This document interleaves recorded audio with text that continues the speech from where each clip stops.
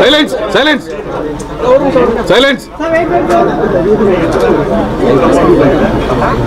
வணக்கம். ஓகேம்மா வணக்கம் திரு. மகேந்திரன் அவர்களுடன் எனக்கு வெகு நாளைய நட்பு.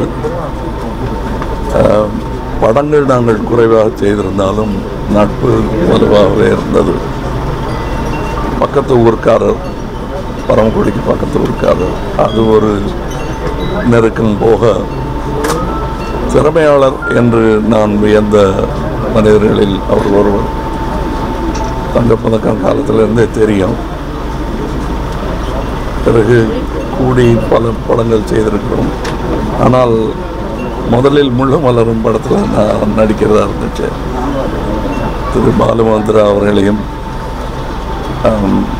தமிழ் படம் செய்ய அவ்வளவா ஆர்வம் இல்லாமல் இருந்த பாலுமந்திரா அவர்களையும் இவரையும் எங்கள் வீட்டில் இப்பொழுது மக்கள் நீதி மையம் ஆஃபீஸாக இருக்கும் இடத்தில் அவங்க ரெண்டு பேரையும் சந்திக்க வைத்தது இன்றும் பசுமையாக என் மனதில் நினைவிருக்கிறது ரெண்டு பேர் கையையும் சேர்த்து வச்சு வெற்றி படம் எடுங்கள் என்று சொன்னேன்.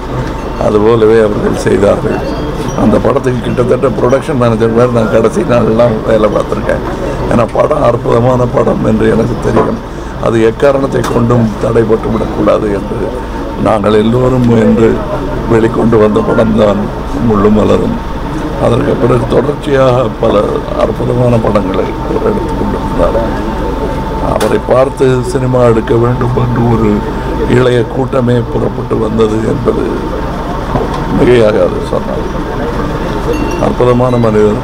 ஆரம்பங்கள் எளிமையாக இருந்தாலும் அவருடைய முடிவு உன்னதமான உச்சத்தை தொட்ட பிறகுதான் ஏற்பட்டிருக்கிறது என்பதில் எனக்கு சந்தோஷம்.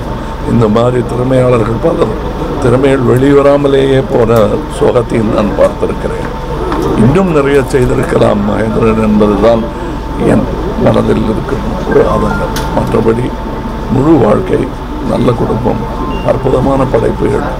இவருடைய நினைவு தமிழ் சினிமா என்றும் தாங்கி நிற்கும் நன்றி. வணக்கம்.